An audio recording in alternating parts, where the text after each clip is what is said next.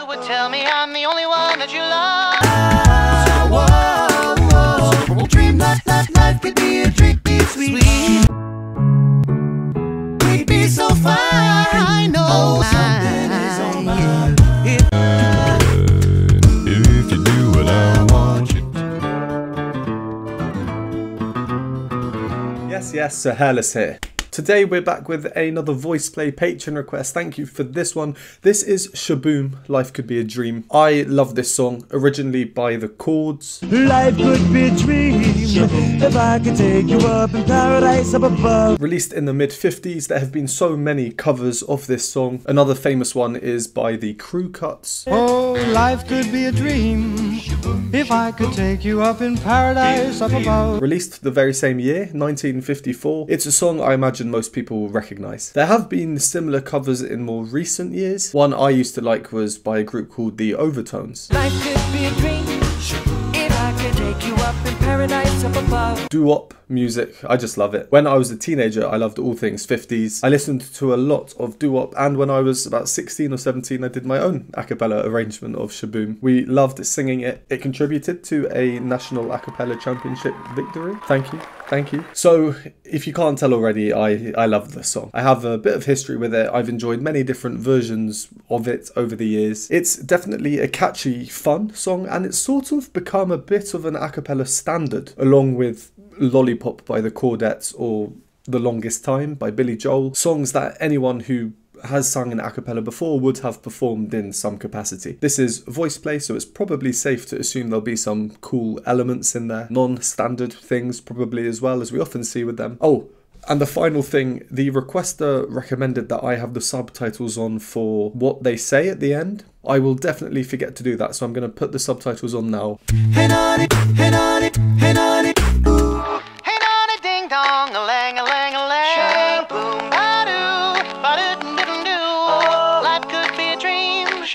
If School I effect. could take you up to paradise up above, and you would tell me I'm the only one that you love. Life could be a dream, sweetheart. Life could be a dream if only all my precious plans would come true. If you would let me spend my whole life loving you, life could be a dream, sweetheart, sweetheart, sweetheart. Here's hoping we'll meet again.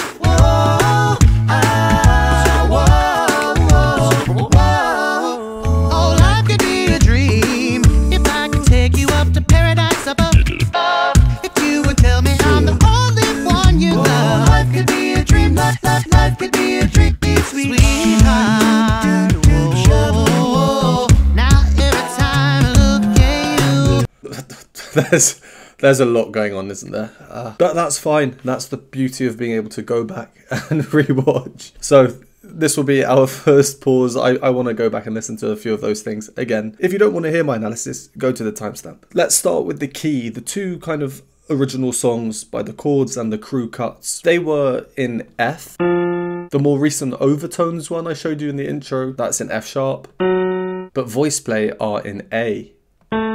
So a bit higher, we have Earl Elkins Jr. singing the melody with his laser voice, so this makes sense. I did like the opening broken record effect followed by the vintage quality. Hey, naughty, hey, naughty, hey, naughty.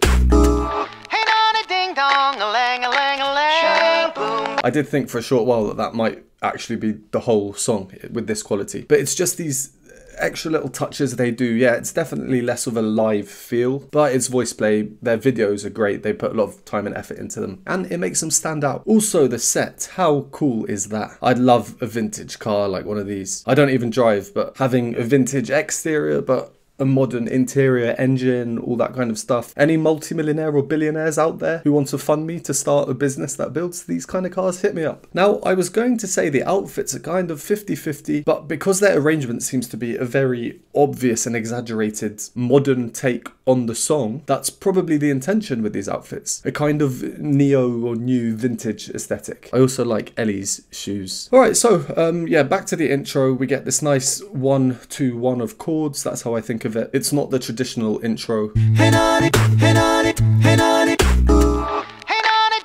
So Geoff goes. So we've gone from the home chord to the dominant seventh, and then back to the home chord to begin the first verse. The backing ooh shabooms, that they're quite free. Out of three times we hear this little refrain, on the second time Geoff repeats his note when no one else does. Take you up to paradise up above, and you would tell me I'm This is what I was expecting, so I was kind of listening out for it. But on the third time after that, he doesn't do it. So even here, the most simple part of the arrangement, very, very straightforward, there's this kind of level of micro variety between repetitions. Then we get a nice modernization of the vintage feel. sweetheart.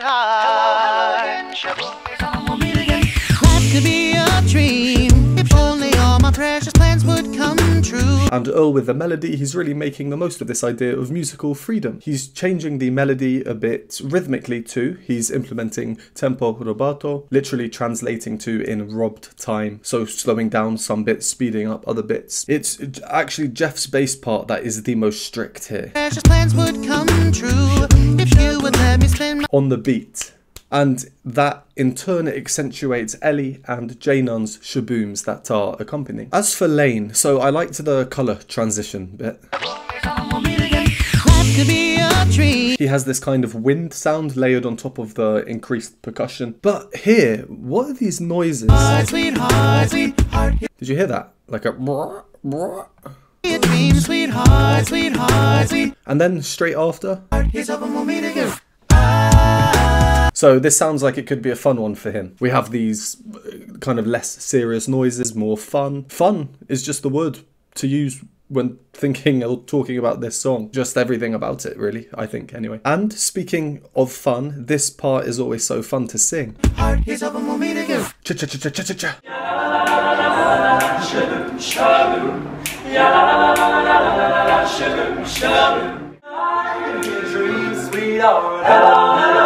He's hoping we'll meet again.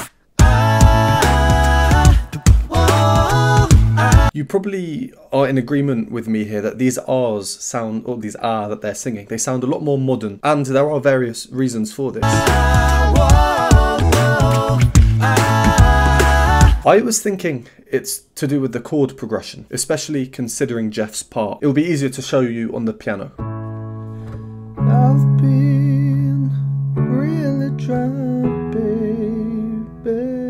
So that's the four chord pattern we have now. This chord progression it's used in, I'm sure, many songs. Home Free did a good mashup of Let's Get It On and Thinking Out Loud. Please check out my reaction to that if you want. Card for that will be up here. But previously and in the song itself, Sh-Boom, this is the four chord pattern we would have heard.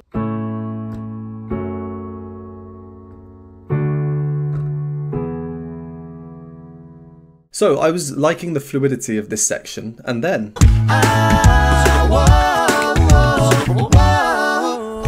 life could be.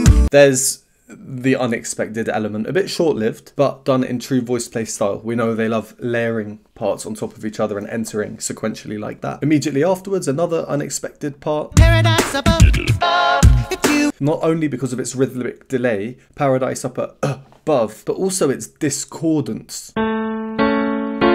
This augmented chord, but also the temporary muted audio quality, that vintage effect. paradise above. If you would tell me I'm the only one you love. And again, the broken record effect here, like we saw right at the start. We've seen them do this or similar type effects before, and that would cause rhythmic displacement. An example would be Dragonborn Comes. Here, they do enough broken rewinds to stay in the overall rhythmic structure. So if we just keep counting along, we match back up at the end of it. My mic's a bit out of sync with the video, unfortunately. I have to sort that out in editing, so I can't count over the top, but I'll do an exaggerated slap where the kind of strong beats are, or where each bar or measure begins. You would tell me I'm the only one you love. Oh,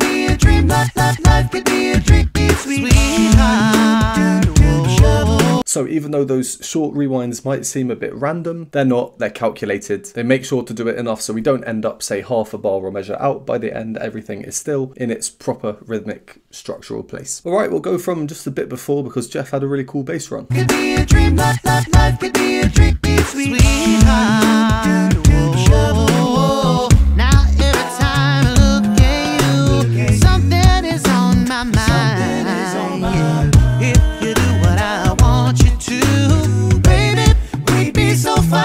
I know.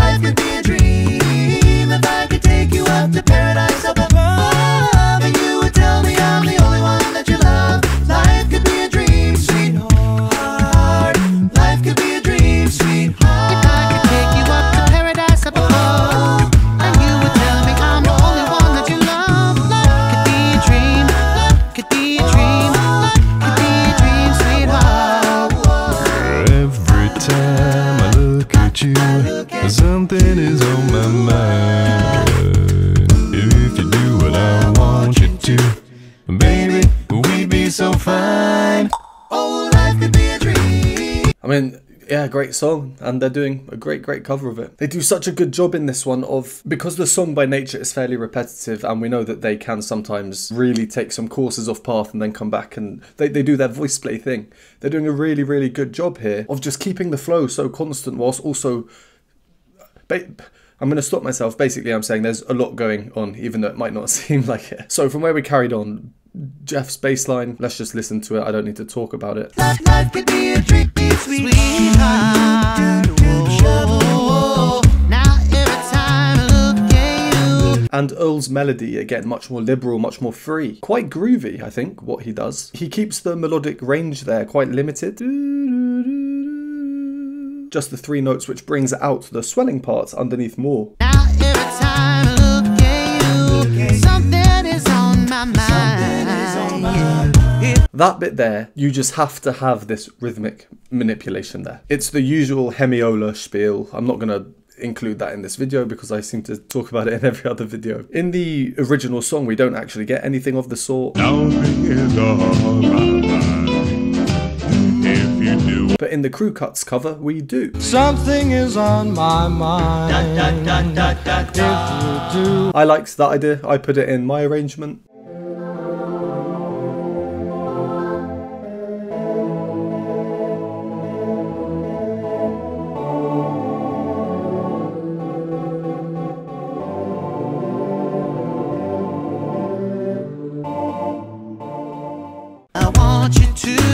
And then I love how it goes from sort of hectic. I mean, obviously, it's a very organized arrangement, but the feel of that section is a little bit more hectic. Into Geoff's little rundown, and then into the following homophonic section. Baby, we'd be so fine. Life could be a dream if I could take you up to paradise above. And then this part now, based on music that I know from the era, which granted is definitely nowhere near as much as someone who was alive at that time, to me it sounds like they're getting ready to wrap things up. love, life could be a dream, sweetheart. Life could be a dream, sweetheart. They could be repeating until the end. Instead, VoicePlay do something clever here. So what they do is they take that four chord pattern I showed you earlier, the same as Let's Get It On, and they've put the Sh-Boom melody on top of it.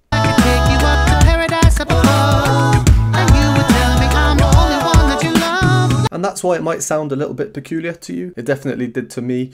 Maybe about 25% peculiar. Let me quickly show you why I have assigned a number to level of peculiarity. Here are the chords they're using now, the same as in Let's Get It On. Here are the chords used in Sh-Boom.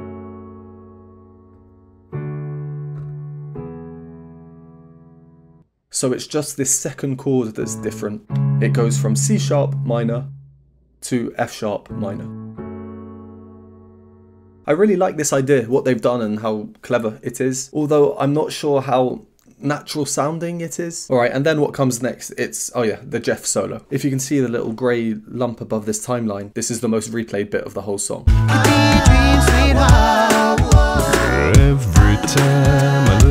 At you, something is on my mind. If you do what I, People love Geoff and his low fries. what I want you to, baby, we'd be so fine.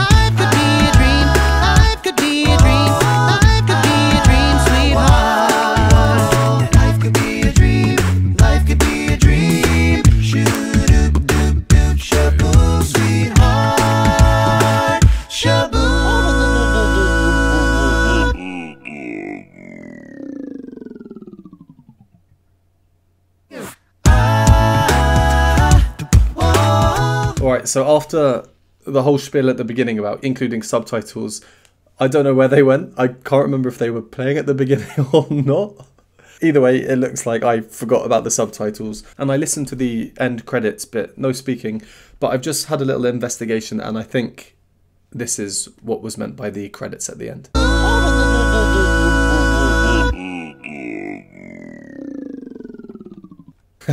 it's an amazing effect by Layne to, to end.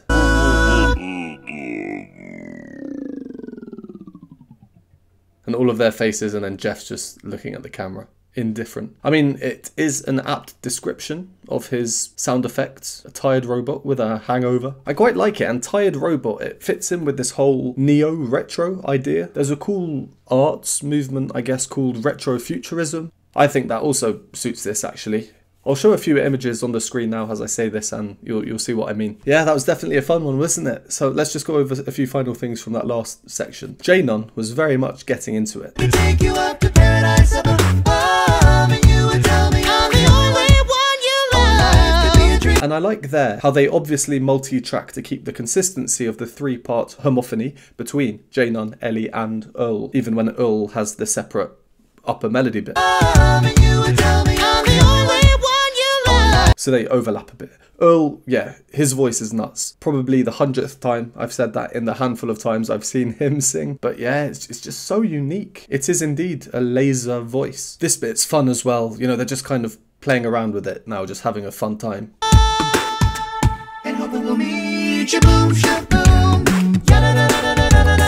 taking segments of the song from here or there and then inserting them here or there. And that time we had some added effects.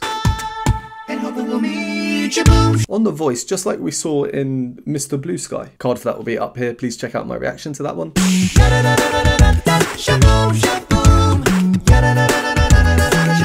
And there, another example of just how much fun they're having with it. And J None's head as well. I did tell you, this is a very, very fun song to sing. We then have a great scat section, but I want you to really focus on Geoff's part here. He has this octave jump.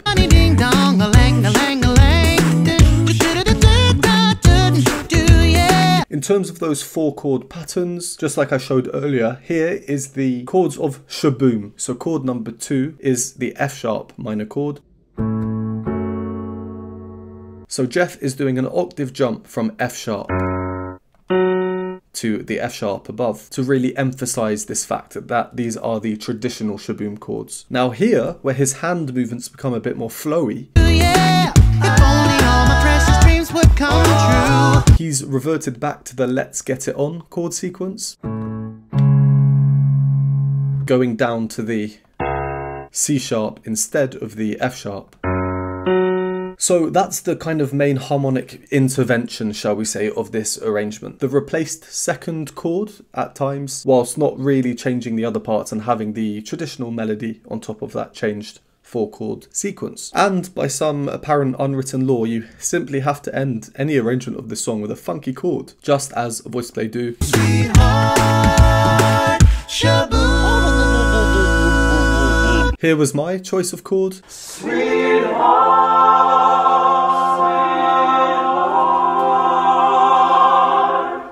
Well, there we go. VoicePlay. Yeah, I really like what they did with that. I love the set. I love this mixture of retro or vintage and new contemporary traditionalism found throughout the arrangement, especially structurally, whilst also having obviously modernized and, you know, technological interventions, harmonic changes, some structural changes, as usual with VoicePlay, some rhythmic surprises. Yeah, all round very much enjoyed that one. Let's leave this one there. So thank you again for this request, and as always, thank you to everyone for watching. Would appreciate a like and subscribe. If you enjoy my content, want to support me, join the community, and get access to exclusive perks, please do so by joining the Patreon linked on the screen now, and I will see you next time.